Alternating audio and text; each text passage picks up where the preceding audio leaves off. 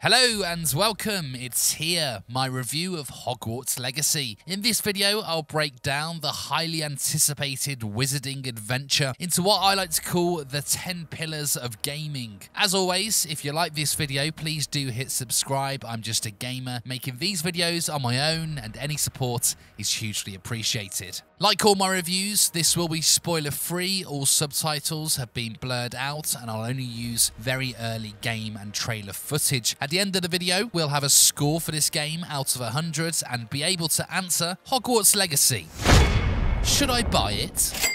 The story the most important pillar of a video game for me. Does this game boast a good story? Well, I'll be honest, this was the part of the game I was most apprehensive about, as the best story from this world has already been told with the much loved Harry Potter series, and I always get a bit concerned when a brand new story is written to exist in an already loved world. However, it kind of works. The main thing for me is that it doesn't feel forced. You don't get the sense that Portkey Games said, hey, let's make a Harry Potter themed game. Don't worry about the story. We'll cross that bridge later, even though that's probably how it worked. The story feels well written and one that could have existed as a book beforehand. It starts strongly and throws you straight into an intriguing and mysterious plotline, but it's not perfect. There's a real lull in the story about five hours in. I found myself really struggling to motivate myself to play the next mission. However, if you power through those bland filler missions, you get to a really nice second half of the story, which culminates in a strong and satisfying ending. I talk a lot in my reviews about that moment you feel after a game finishes and how it affects you as the credits roll. Sometimes there's tears, sometimes there's shock, sometimes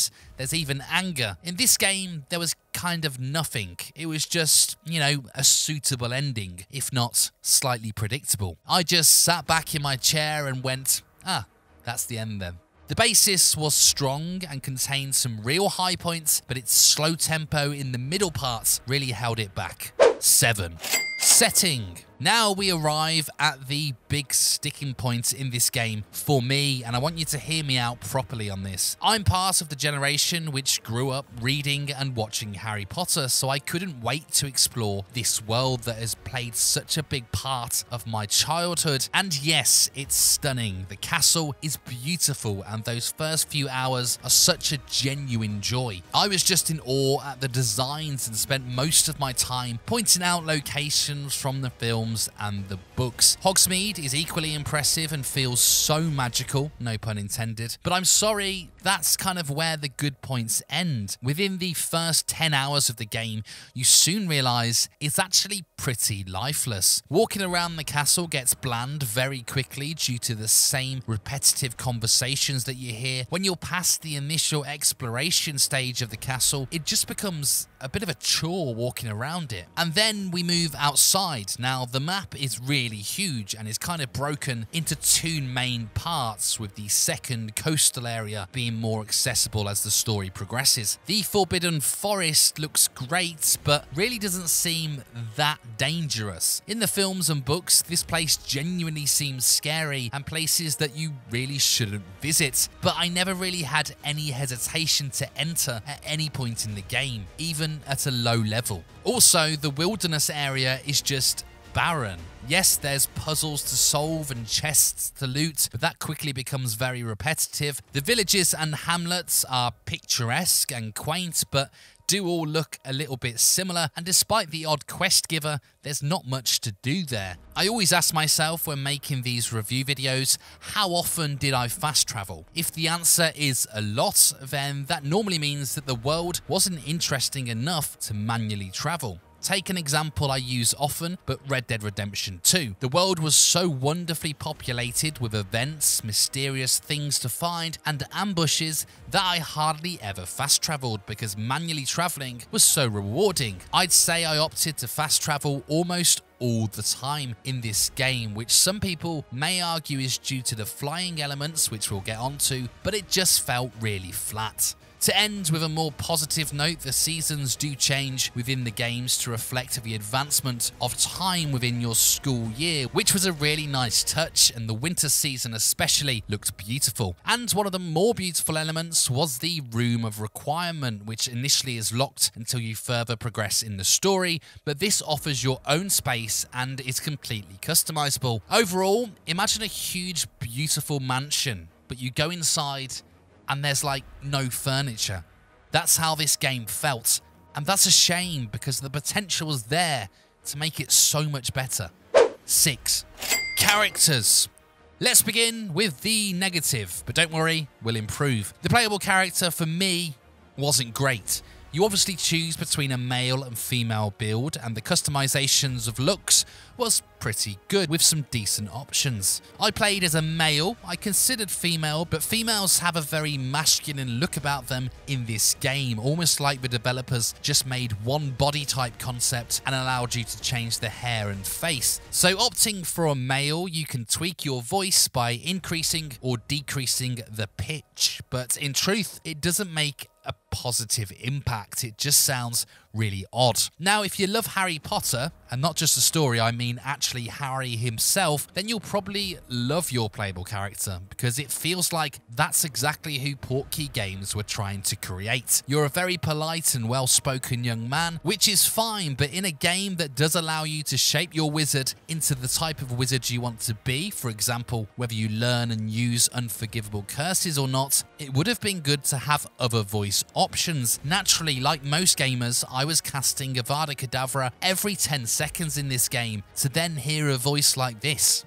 I enjoyed that. It just broke the immersion a little bit. Voice acting on the whole in this game is pretty weak. There's some good performances, but there was a bit of a jarring and robotic feel about it. The conversations just didn't fluidly flow like they do in some games. Now, as for the rest, they're pretty solid. There's a core of three to four students who I'd class as main supporting characters, with three of them offering their own quest lines, which were all actually really good and possibly more engaging than the main story, certainly in parts. Each of these students have a good backstory, and their story arcs within the game are really quite interesting and impressive. Your journey starts with Professor Fig, who first takes you to Hogwarts School. He plays a big part in the game's story and was a well constructed character. As for enemies, there's two main ones, and as with the nature of RPG adventure games, the bad guys don't actually get that much screen time until the end parts of the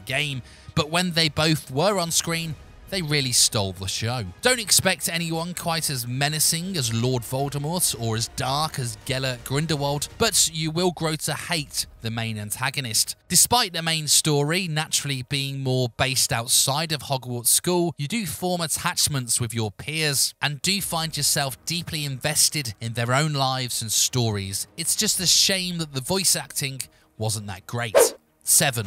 Gameplay. Okay, now we're cooking. I loved the gameplay in this game. Being a witch or a wizard is fun, right? I used to pretend to be one as a kid watching the films, and even today, in adulthood, I still have to fight the temptation to cast a spell when holding anything that resembles a wand. But Hogwarts Legacy surpassed my expectations. The dueling element in the game is especially fun and actually a bit more complex than I expected, but in a good way. I thought it would be a bit button mashy, but it's not. The game actually allows you to build your wizard how you want and you unlock spells as you progress. Spells are then highlighted in different customizable button slots so you can work out your favorite spells and which combos work well and plan your combat around that. As we all know, unforgivable curses do exist in this game, but they do have a cooldown feature, like most spells, but more significantly, meaning you can't just cast the killing curse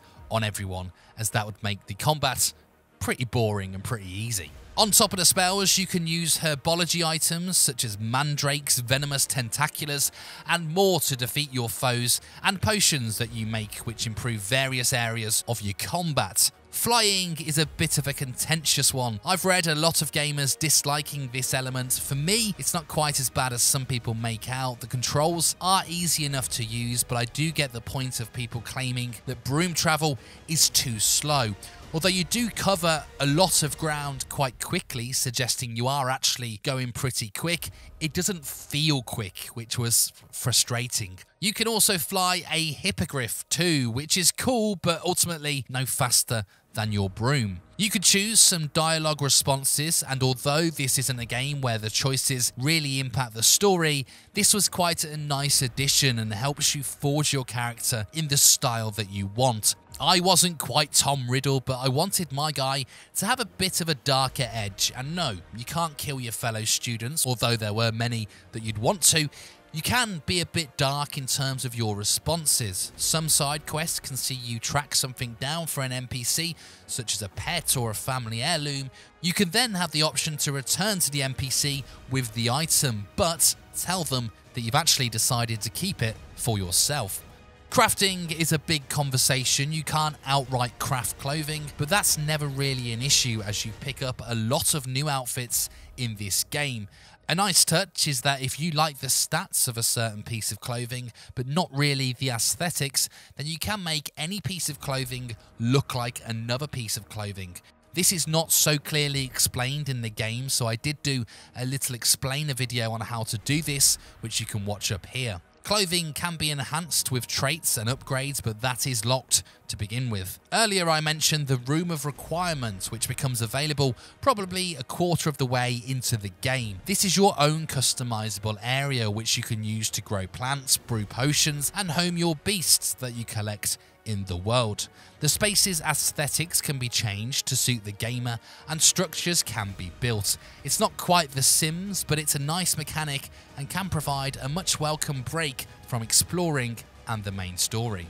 You can customize your wand once you purchase it, although I found the options a little bit underwhelming. And strangely, you can't customize your broom, although there are several preset models that you can buy. I do wonder, however, if that's going to be something which will be explored in a DLC, especially if it's a Quidditch themed DLC like we're all expecting. And on that note, this is of course well documented, but just in case you didn't know, Quidditch doesn't feature in this game, and the story explains why. On the whole, the gameplay is really fresh and strong. You'll run into a lot of enemies in this game and you never really tire of fighting them. Once you unlock more spells, it becomes even more fun. The only reason this isn't a perfect score is the pretty lackluster flying. 8.5. Visuals. The footage you're seeing now is captured on a PS5, so naturally PS4 or Xbox One players can probably expect a slight downgrade from this, but it is stunning.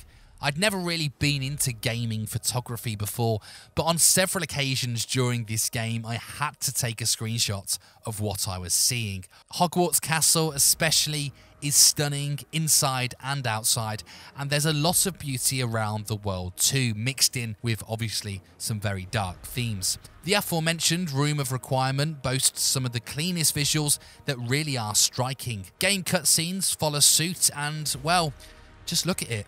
Well detailed face animations mixed in with some really vibrant colours made it a really enjoyable experience. One small gripe, and it is very small, gameplay conversations can sometimes be a bit jarring, in the sense that on more than one occasion, an NPC gave me some bad news, such as, oh no, my dad is dead, and it would then cut to my character with the biggest smile on his face. I'll be honest, it made me laugh more than it did anything else, but it was just a bit immersion breaking. To summarise, this is stunning. The little opening sequence here really does showcase just how beautiful it is, and to be honest, from this point, it just gets better and better. 10. Bugs. Normally a nice short category, except for my Cyberpunk 2077 review. Are there any bugs in this game? There are a couple, but I'm giving Portkey Games the benefit of the doubt that I played this game from release day and that most early bugs and issues have already been resolved in the most recent updates. The biggest ones seem to be characters' faces changing within gameplay, weirdly more so with female characters, but again, that seems to be altogether gone now. I didn't experience any crashes and no storylines or quests were broken. It scores 9. Length. How long is Hogwarts Legacy and is that a good length? Well, really, this game is as long as you want it to be. There are a lot of side quests and collectibles to keep you entertained post main story, and an endless amount of time to be spent in your room of requirements. But for the main story alone, it's going to take you around about 30 hours, maybe 35. And as my girlfriend always says to me, that's a pretty average length. It didn't feel too long, but because of my earlier point regarding the story, I think some of the bits of that lull period could have been cut out, taking the story to more of a 25 hour mark. But it definitely didn't feel too short. 9. Fun! Is this game fun? Of course it is. I've dreamed about being a wizard since I was a little boy, and this, so far, is the closest I've got. I don't know why I'm saying so far as if I'm ever going to actually get any closer. The combat alone makes this a really fun journey, and despite the bland, empty feel of the world, there is a lot of variety in terms of how you want to play. Sometimes you might be in a mood to do a bit of collectible hunting and puzzle solving, and although, in my opinion, these do get boring pretty quickly, they can be fun in short bursts. 8.5. Replayability. A word I think I might have made up, but in every review I do, I discuss whether you'd play this game again, which I think is an important factor when deciding whether to buy a game. There's lots of reasons to play this game again, and although the story is maybe not one that you'll suddenly get an urge to revisit in a year or so's time, there are reasons to suggest your next playthrough would be different. At the beginning of the game, you choose which house you'd like to be sorted into, which grants you access to that house's unique common room and house-specific side quests. I have no doubt you will research which house you want to play as. I was a Slytherin, but I will definitely try something new next time. It's also a game I intend to keep popping back to just to slowly make my way to 100% completion. The house element on its own means there's at least four unique playthrough opportunities. 9. Value. This is always a difficult category as, you know, it's subjective to what it's currently valued as right now, as this at the time of releasing is freshly out. I paid full whack and I don't regret doing so. Although, as we can tell, this game is far from a masterpiece, it's still absolutely worth paying good money for. And if you've ever watched one of the films or read any of the books, you will just love it purely for the nostalgia element. Given how well this game has sold already, I can't anticipate a price drop anytime soon, but if you're not keen on paying the very expensive price that we all know newly released video games are these days, then check out psprices.com and add this game as an alert to be notified of when it drops. And don't worry about the title, that website also covers Xbox as well. But for what you get, I would say it's worth full price. 7. And there you have it, my scores for Hogwarts Legacy according to the 10 pillars of gaming. Should you buy it? Well, ultimately, that's for you to decide from the evidence that I have presented you with. If you do buy this game off the back of my review, then please let me know in the comments. And of course, please let me know if you disagree with any of my scores. I don't claim to be an expert. I'm merely an honest fan. And one of the reasons I make these videos is to spark conversations between gamers in the comment sections. So just keep it polite, but get involved. Thank you so much for watching. And if you do have time to hit subscribe, that would massively help my small channel grow. Thank you.